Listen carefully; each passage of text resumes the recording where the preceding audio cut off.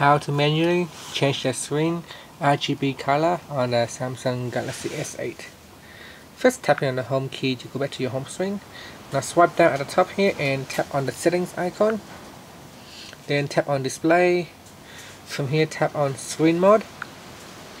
Then make sure you choose adaptive display. If you choose other mode, then the function will be disabled. So make sure you choose adaptive display and at the top here is a, a uh, picture preview. As soon as you make uh, changes this uh, picture changes the color.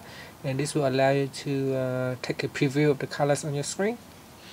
So here is the RGB so uh, you need to go and tap on the advanced options.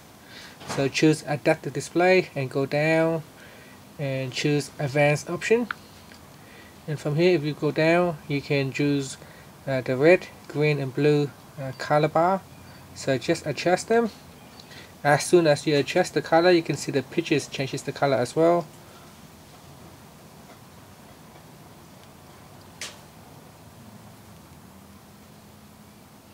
While it is a bit hard to uh, see the color changes on the camera but you can actually see it. So they're using the, the slider bar. You can change the RGB color of your screen and we can choose so that it is more suitable for your eye. Once you have pre with the selection just simply tap on the back key here or you can tap on the home button to go back to your home screen. And that's it. Thank you for watching this video